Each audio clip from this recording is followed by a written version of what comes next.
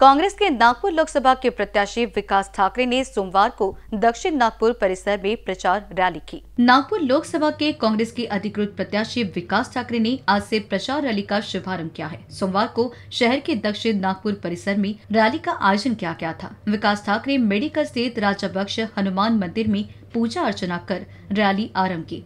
इस रैली में कांग्रेस प्रवक्ता अतुल लोंडे, शरद पवार गुट के शहर अध्यक्ष दुनेश्वर पेटी उद्धव ठाकरे गुट के नेता किशोर कुमेरिया उपस्थित थे। रैली ने दक्षिण नागपुर परिसर में भ्रमण किया। आज हमारी पदयात्रा प्रचार रैली की शुरुआत हो रही है और राजा बख्शा हनुमान मंदिर के सामने से ये शुरुआत होने जा रही है और ये रैली लोकतंत्र बचाव रैली है।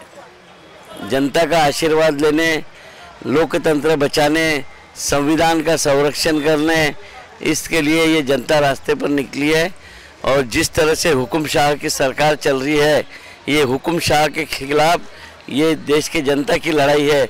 इसमें यह शुरुआत नागपुर से हो गई। इलेक्ट्रॉल बॉन्ड क्या सारे विषय जनता तक मालूम है? अडानी, अंबानी, लखानी सब जनता को मालूम है। इस देश में क्या हुआ? अपोजिशन खत्म करने का काम ये सब जनता को मालूम है। धीरे धीरे प्रचार में सब विचार आएँगे और जनता ने अपना माइंडसेट कर लिया है, उन्हें क्या करना है? कैमरा पर्सन राजकुमार मोहट के साथ अभिषेक पांसी की रिपोर्ट।